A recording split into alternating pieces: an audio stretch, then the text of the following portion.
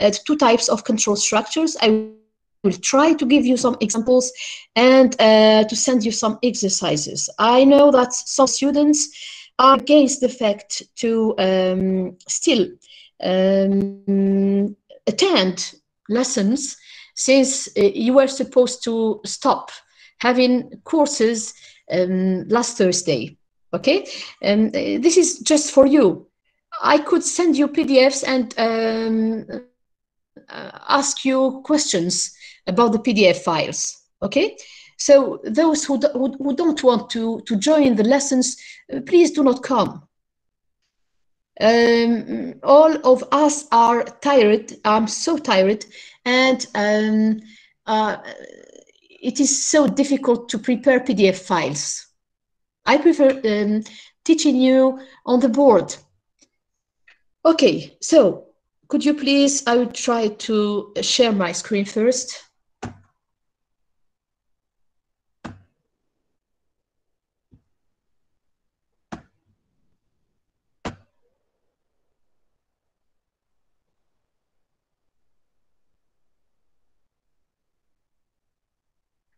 Can you see my screen? Yeah. Yes. Okay.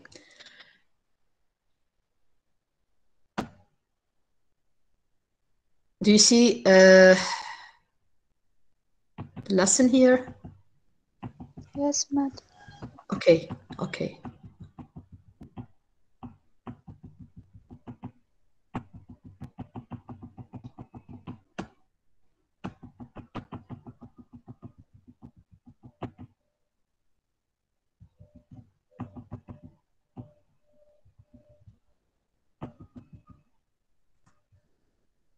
And then I will open um, whiteboard.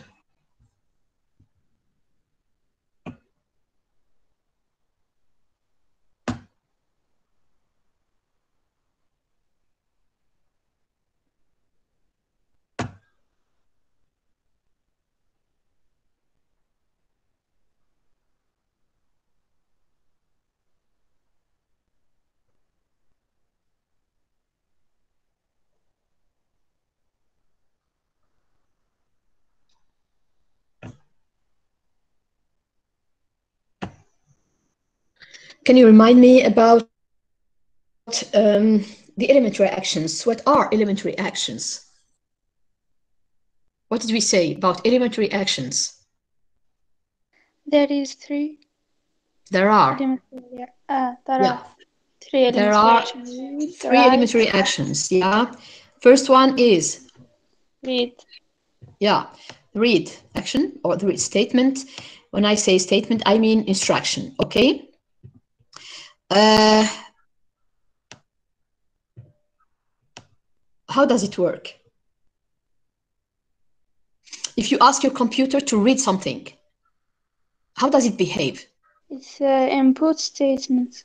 It, it is an input statement, very good, okay. Um, if you ask your computer to uh, read,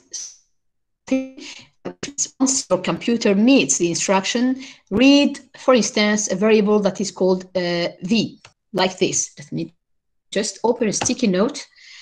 If your computer meets this instru instruction, read v, the variable that is called v. What would happen? Oh, okay, I'm sorry.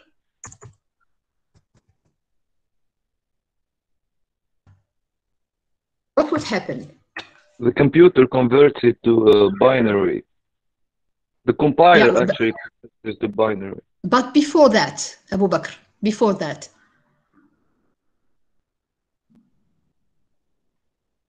We must provide the type of the, the variable first.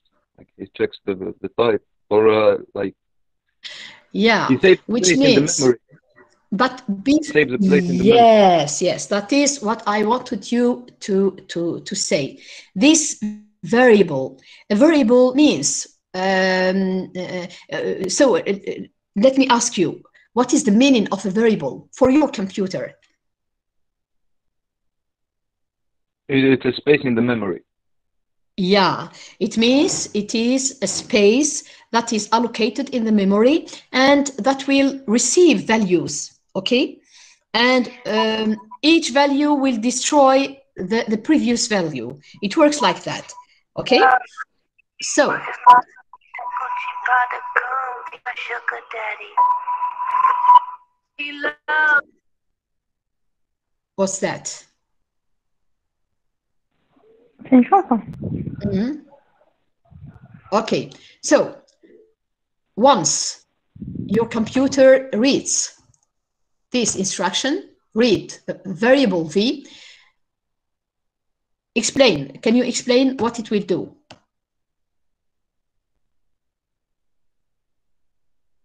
He will reserve uh, a place. No, no, no, no, Memory. no. I didn't say that. Read. Can you repeat the question, please? Yeah, I'm asking you uh, about the behavior of a computer. I have told you during the last lesson that if you can understand how your computer receives your instructions, you will be able to talk to him. And here, I don't say it, I say him. I personify your computer because um, uh, there is um, a dialogue between you and your computer. And before that dialogue, you are supposed to know how are the instructions received. So first instruction, first elementary action is read V. Read is an action and V is the name of a variable. Um, mathematically, it, it works like a function of any variable, okay? f of x, for instance, okay? That's why for these elementary actions, mathematically speaking, they work like a mathematical function. Function of a variable x, it works like that, which means if I uh, give the instruction read to my computer, I'm supposed to give this argument. This is the argument of your function, v. Okay, and it is supposed, like here, f of x, it is supposed to be between brackets. Now, what is the behavior of your computer once it will receive this instruction? Read v. We have said that this v is a variable. It means it is a space. It is a space in memory. It is a memory cell that is called v. Once your computer reads this instruction, how does it behave? I have explained it several times.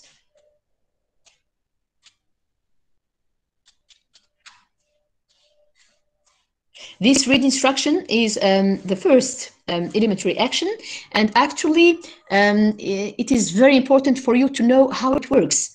So, how will your, your computer behave by meeting this instruction, by reading this instruction? Read it. It will search for the variable that it's that it is given to, and it will change its values. Uh, actually, where um, is it supposed to search for it? If you say it will search for that value, it means that it is supposed to be inside your computer like that? um, no, you have input in. Uh, you have already put it in uh, in the declaration part. Uh, no, uh, there are no input, no inputs in the declaration part. Oh, okay, yeah. Okay, there are no inputs in the declaration part. Search what is the it in the memory. Excuse me? Ex- could you repeat, please? Search for it in the memory. search for it in the memory. This means that it is already in the memory. No, uh, I'm a bit surprised because I have explained this several times. Once, let me just give you the answer. Once your computer will meet this read instruction, it will expect you to type the value of V on your keyboard. This is how it works. For these read instructions, there are two types of read. You can either ask your computer to read a variable, and this variable is nothing else than um, memory cell space in your memory that is called V. Okay, so your computer will expect you to type the value of V on your keyboard, and then this type value will put it will be put by your computer in the memory cell that is called V. Is it clear? The second type of read in um, algorithmics or in programming languages or programming languages is um, read file. There is a file uh, of data um, that you want your computer to read, so you will uh, ask your computer to open that file first and then to read it. But these are the first lessons of algorithmics. So we have not reached the, the level of reading a file yet, okay? And uh, unfortunately, I, I don't believe we will reach it for this year. So read V means that your computer expects you to type a value on your keyboard. The value that you will type will be put by your computer inside the memory cell. That is called V. Is it clear? Yes, Yes. Okay, so this is the first, first elementary action. What if uh, Yes, yes. what if V is a constant? Uh, what will do? Uh, excuse me. If V What did you is a constant, well, the computer what will uh, uh, what will? No, um, Abdurrahman, uh, you will never ask your computer to read a constant. Never. Okay? We never ask a computer to read a constant. Why? Because, let me just remind you something. Uh, I will draw your memory. So, uh, who can tell Abdurrahman why we will never ask computer to read a constant? Who can explain to, to, to him? This is my memory.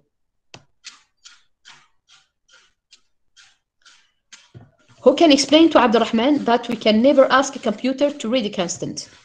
This is my memory with memory cells, with different memory cells. So, can you explain to Abdurrahman that we will never ask the computer to read a constant? Why?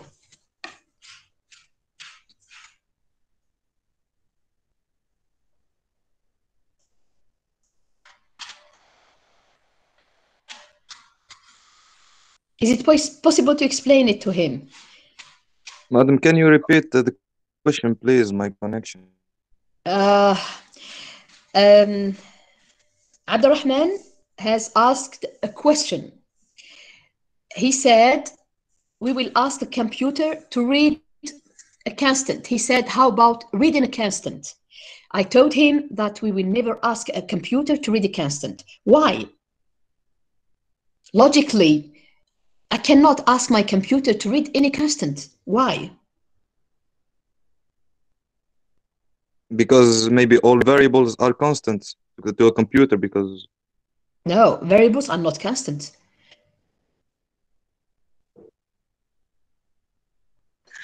Because he is already know it. Know it. Yes, yes. So look up this instruction, please. You have this instruction. Read V. This means that in your memory, there is a memory cell that is called V. I repeat the question otherwise.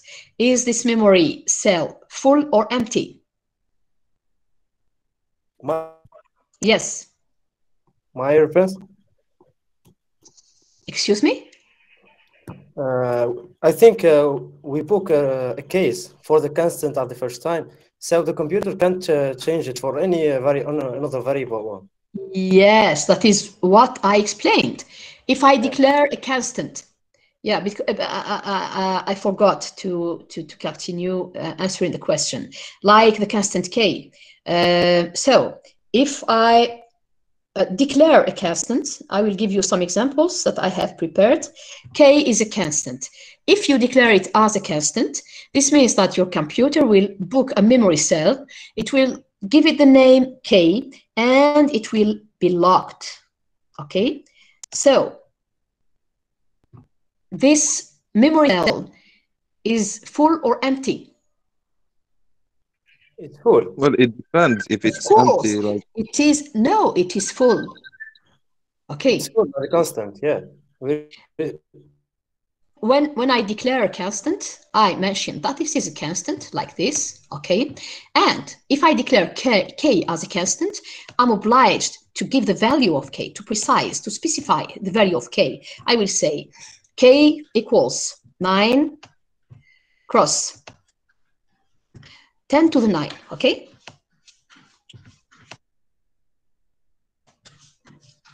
Ten to nine, okay?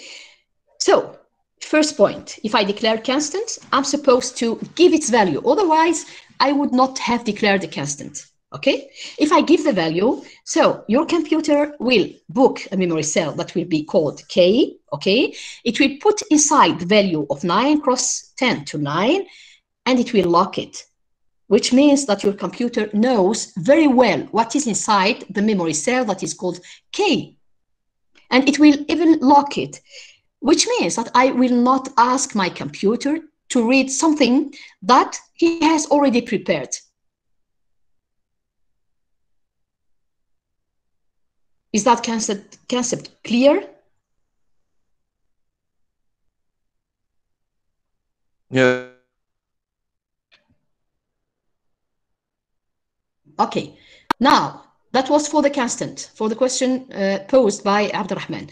Now, for the variable, if I ask my computer to read V, this means that inside your memory, there is a, a memory cell that is called V. Let me ask a question, the question again, once more. Is the memory cell that is called V full or empty? It's empty. It is empty. Okay, it is empty. So if I ask my computer to read the variable that is called v, this means that your computer will expect you to type a value on your keyboard. And this typed value will be put inside the memory cell that is called v. So this is how your computer behaves when it encounters this instruction, read v. Is it clear? Yes, Adam, it's crystal clear. Okay, thank you. Now, next elementary action.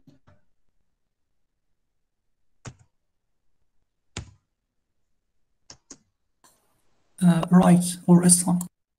Yeah, right. Right, and it works Listen, like, yes, the the assign uh, option is the same as the read option. no, no, we will reach it. Please be patient, actually. Yeah, okay. assignment. This is that is the, the third elementary action. So let me first explain how the, the, the second elementary action works. So, write, it works like um, a function of any variable, okay? But here you have two possibilities, okay? Inside, inside the brackets, between the brackets, you have two arguments. You can have arguments that are put between, between quotes like this. For instance, write A between quotes, okay? If your computer meets this instruction, how does it behave?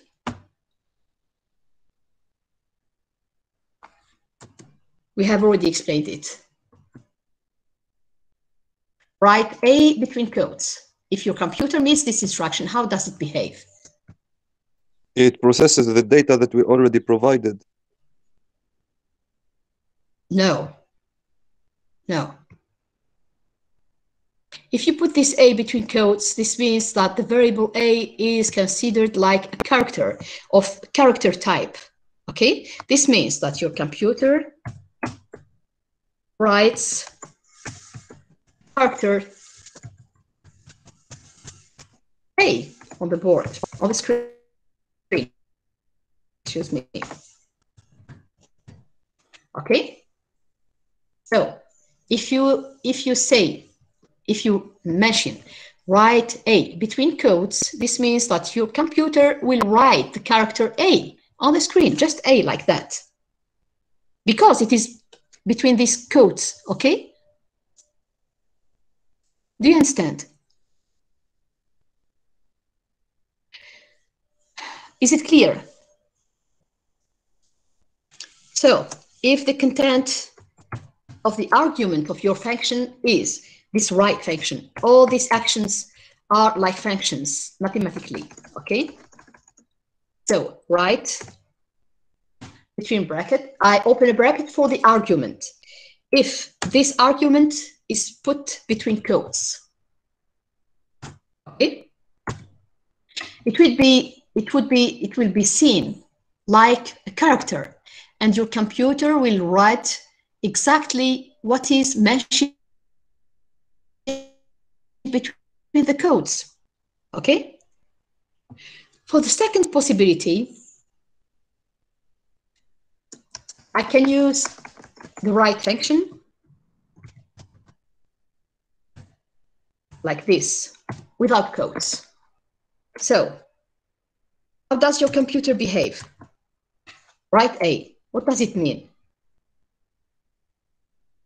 I think uh, it will consider a as a variable. Yes, that's right. And then, and so, Maybe it will display its value, like the, the, the one allocated in the memory that we already provided and assigned to the variable A. very good, brilliant.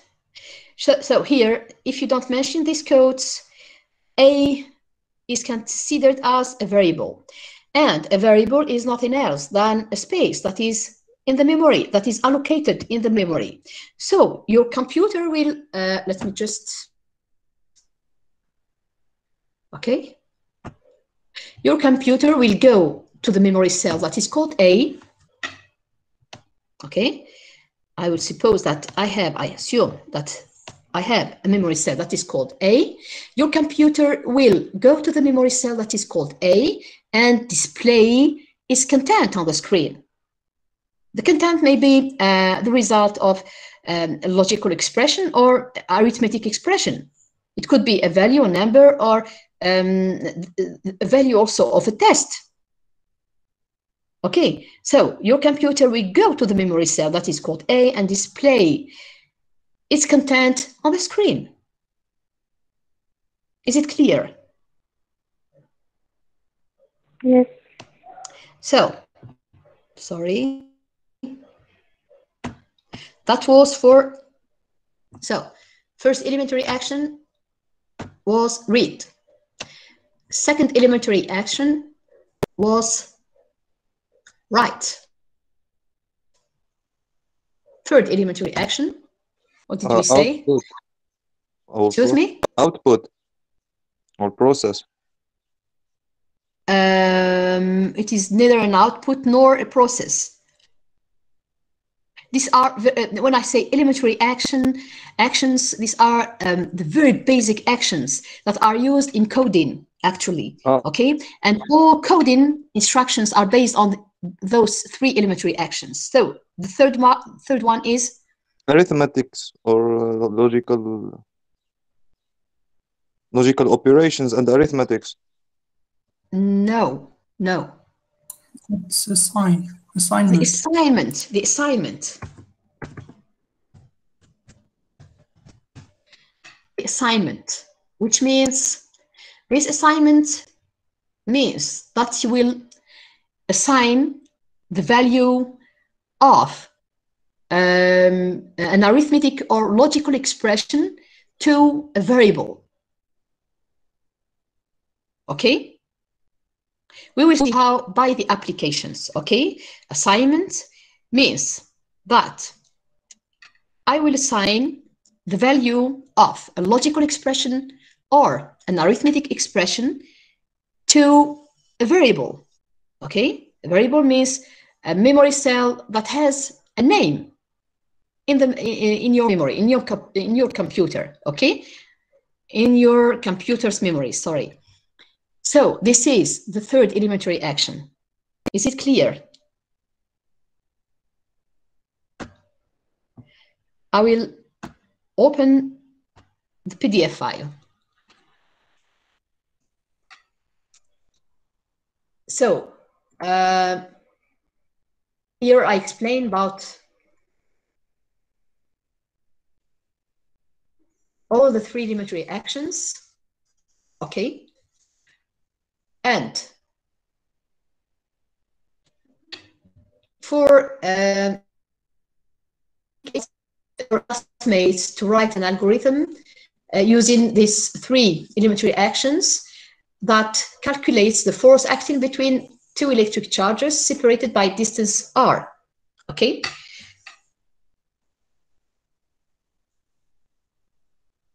So here I start the algorithm and I have explained also in the last lesson that if I have this percent, this percent uh, sign, let's say, or symbol, this means it is a comment, which means that once your computer meets this sign, it will ignore all what is inside the sign.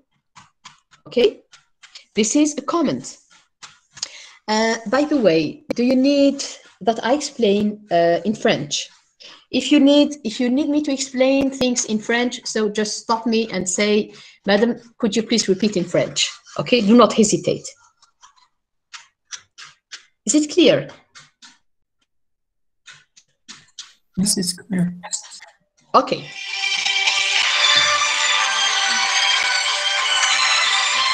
Sorry. Sorry. Okay.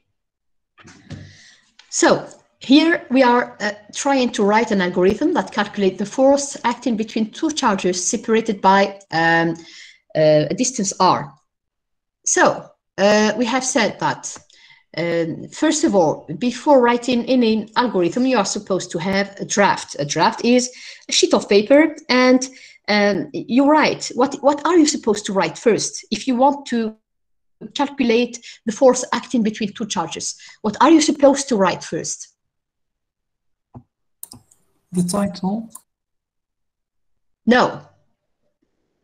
Of course, here I have the title. I have um, uh, uh, the title of the algorithm. I have put some uh, comments here, okay? And here that we are starting by the declaration part. But instead of starting, uh, before starting, I mean, before starting to write your algorithm, what are you supposed to know first? You're supposed to have an idea about what? Uh, about the variables that we will need to solve this problem, Which means? which means the value of the charges and the, the value of the distance between those two char- charges. But before the that, before that, before that, yeah, the Before it- expression, the expression. What is the expression of the electric or electrostatic force acting between two charges separated by a distance r? Can you give me the expression of this force? It's what a, a Coulomb Calcu law qui is. 2 sur R au carré. Yes. Can you say it in English, please? Yeah, it's uh, a constant uh, Constant K. Okay. Yeah. Char uh, the more charges divided by the distance to the power of two, like cube. Yeah. Okay. squared. Fair. Okay.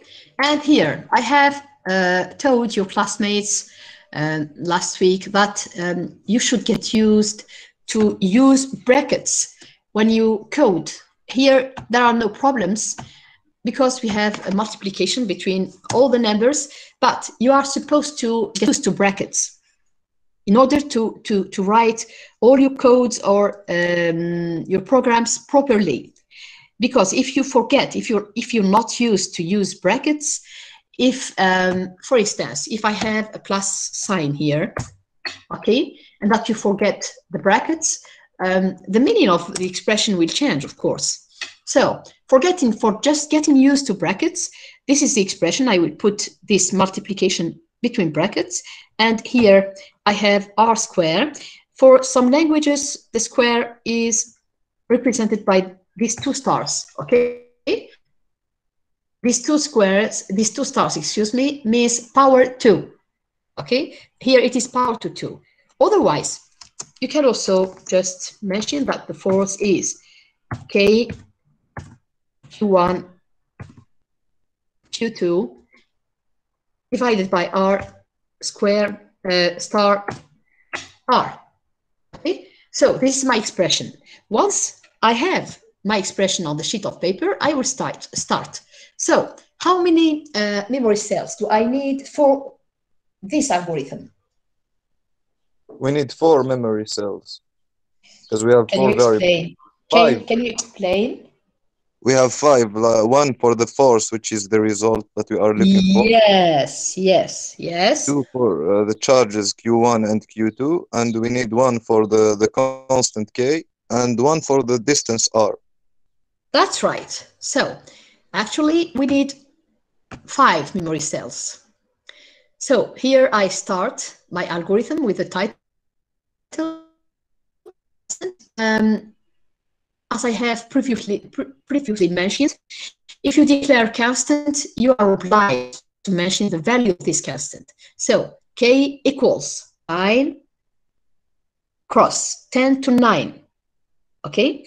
And after having finished, you have this sign that, that is called the sequencer here. This semicolon is actually, let me just mention it here. This semicolon is called a sequencer in coding. It's coding. Sequencer or sequence separator, which means that by the end of each sequence of statements, you are supposed to mention this. And it is valid for all algorithms. Um, now, for programming languages, you, you, you don't need it. It is not required for Fortran. But otherwise, in most programming languages, it is absolutely required that you and your of statements of instructions by this semicolon symbol. Okay, it's called the sequencer. So here, once I have declared my constant, I end this declaration by this semicolon, okay? And then I go to the declaration of variables. So I consider if I suppose that Q1 and Q2 um, are uh, equal to, uh, for instance, 2 coulomb or um, and 3 coulomb, these are integers, so I declare it as an integer, okay? Now, for the distance r, uh, usually the distance between the two charges is very small when compared to one meter. And for that, it is supposed to be of real type. If it is, for instance, uh, if it is, uh, if the two charges are separated by just one or two centimeters, this is 2 cross 10 to minus 2, for instance. Okay, and it is of real type. Of course, for the result, f, f is the result. If I combine integers with real numbers, for sure the result of real type.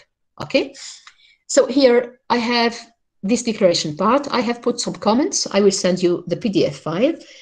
It is not finished yet, unfortunately, but I will send it to you anyway.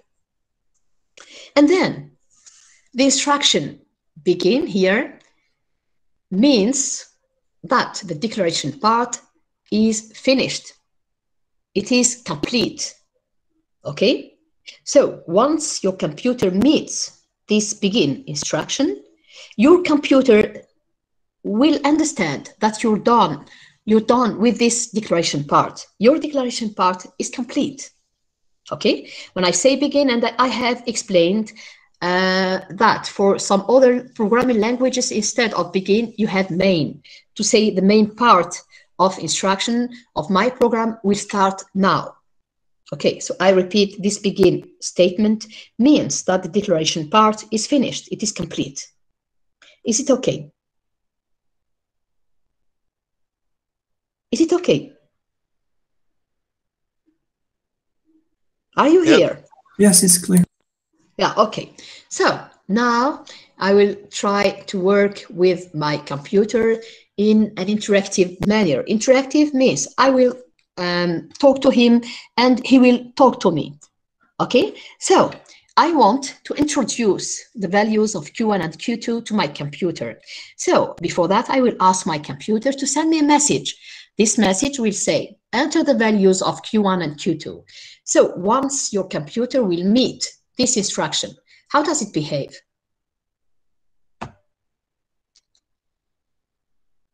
So your computer will read this instruction, write between codes, enter the values of Q1 and Q2. How does it behave? It will ask you to enter the values of Q1 and Q2. How? It will ask you, you will said. see it in the screen. Yeah, so your computer will, uh, let me just use this. So your computer will write this sentence on the screen, okay? Your computer will write this sentence without the codes, of course. Your computer will ask to enter, write this sentence, enter the values of Q1 and Q2. Once you read this sentence, you will write, read Q1 and Q2. Okay? Once your uh, your computer meets this instruction, how does it behave? What does this mean?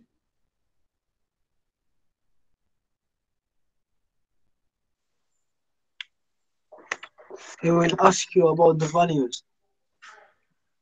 No. I have already explained.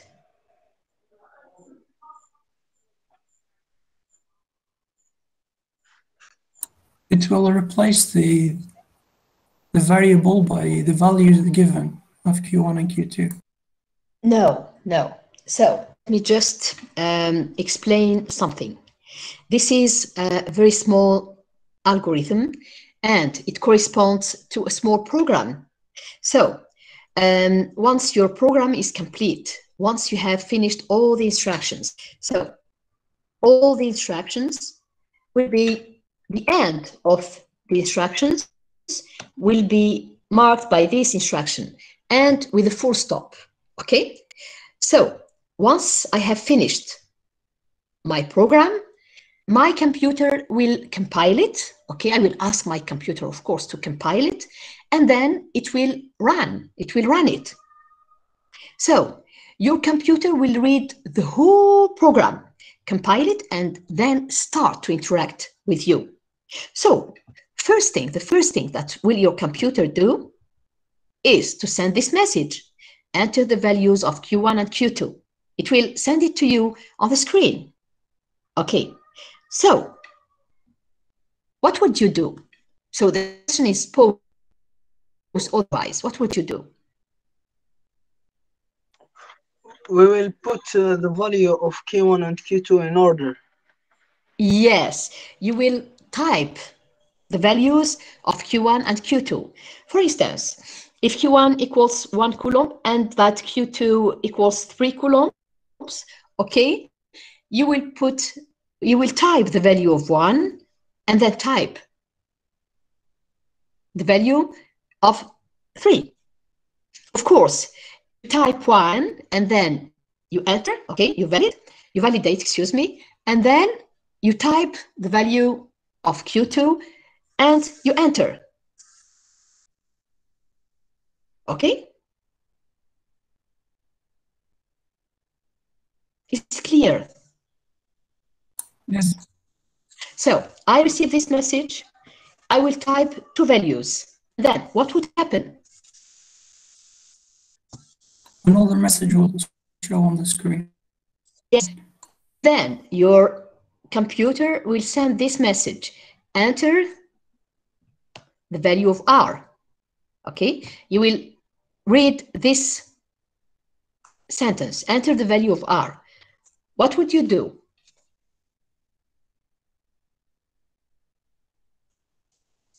You'll type the value of R and then enter. Yeah, sure. Valid. You will type the value of R. Okay, just type it. And then what would happen?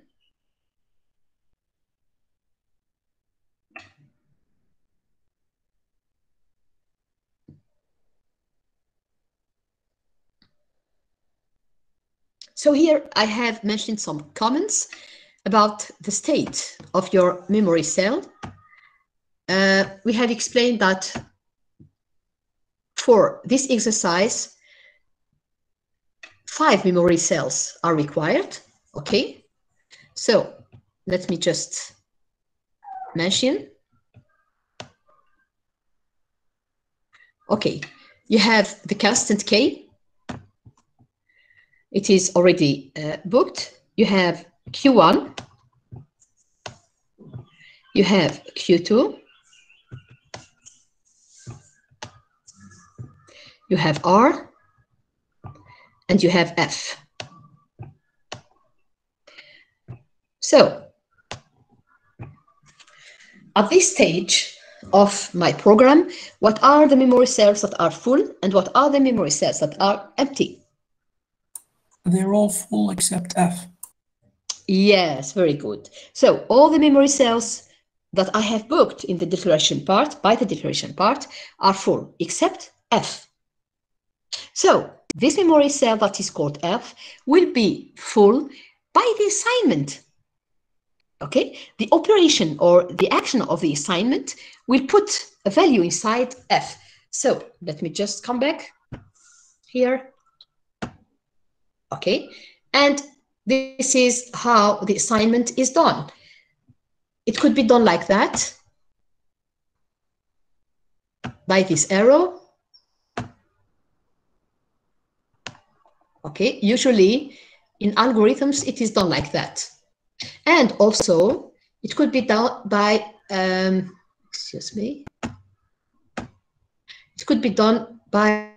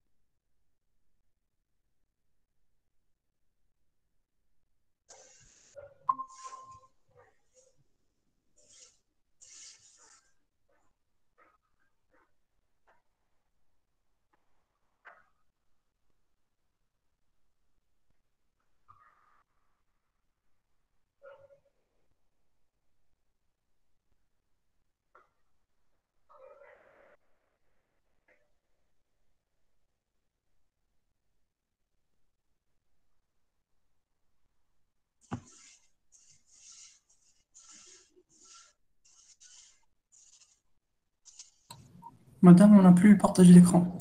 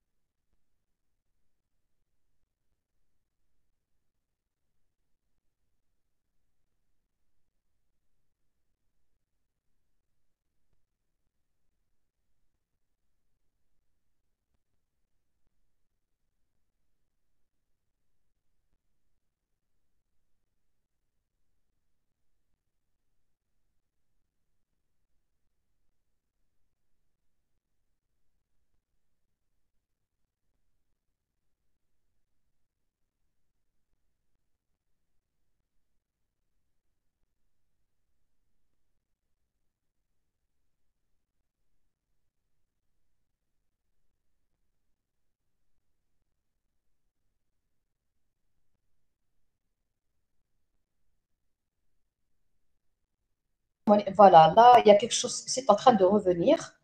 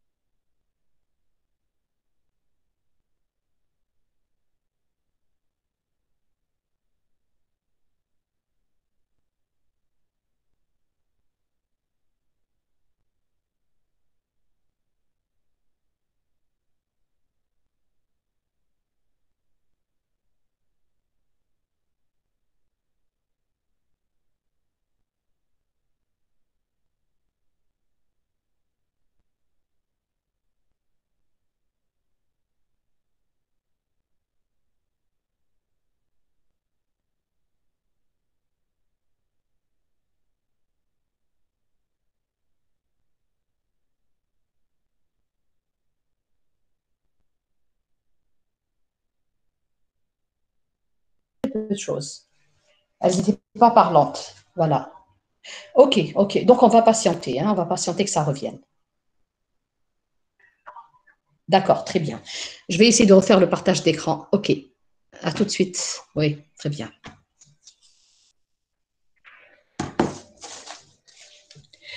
I'm sorry, I have lost my connection.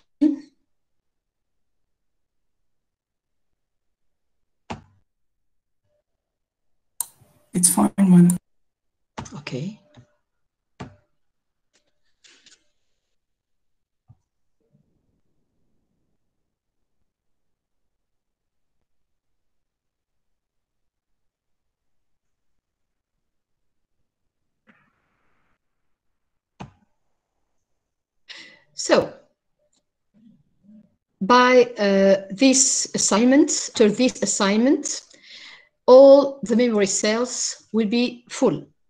Okay. Now that my computer has has calculated the force acting acting between two charges, the the last step I will say will be to give you the result. So here I ask my computer to write F. Once your computer reads this instruction, how does it behave?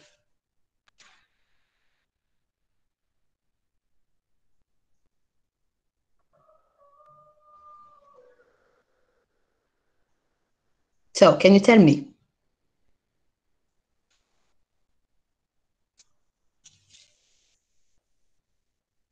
It will go to the cell memory named F and print the Yeah. content. Yes. So with this instruction, your computer will go to the memory cell that is called F and write the, uh, the content of the memory cell on the screen. So the content will be number for sure. And this is how you can ask your computer to write, to give you the result. So here I have the instruction or the action write that is given otherwise. So write, and in the argument of my function, here between codes, the force between Q1 and Q2 is equal to. So this means that your computer will write this whole sentence, and then F is without quote. Here you will have a number, okay?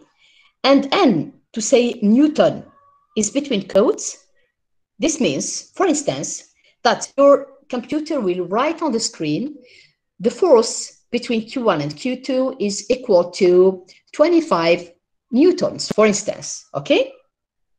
So the writing on the screen is by columns. So on the first column, your, your computer will write this sentence. On the second column, it will write the value of F.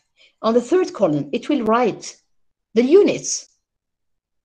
Okay, so this is how you can ask your computer to send you the result of this calculation. Of course, this small program ends with end instruction and with full stop. Is it clear? Madame, Yes? Vous pouvez refaire cet exemple rapidement en français, ju- juste pour comprendre. D'accord, d'accord. Donc ici, je suis en train de calculer la force qui agit entre deux charges Q1 et Q2 séparées d'une distance R. Première partie de l'algorithme, c'est la partie déclaration. Dans la partie déclaration, on a dit je dois allouer un espace à tous les, euh, les appelle? Les objets. Quand j'écris l'expression, alors quand j'écris l'expression, la force qui agit entre deux charges, elle est égale à F euh, égale KQ1, Q2 sur R au carré, ça veut dire que dans ma partie déclaration, je dois déclarer cinq choses, cinq objets. Quatre objets sont considérés comme des variables et un est considéré comme une constante. Donc, la déclaration d'une constante ne peut se faire si je n'ai pas précisé la valeur de cette dernière. D'accord? Maintenant, la déclaration d'une variable ne peut se faire non plus si je n'ai pas précisé le type de cette variable. Parce que l'espace alloué à un nombre entier ou à un nombre réel.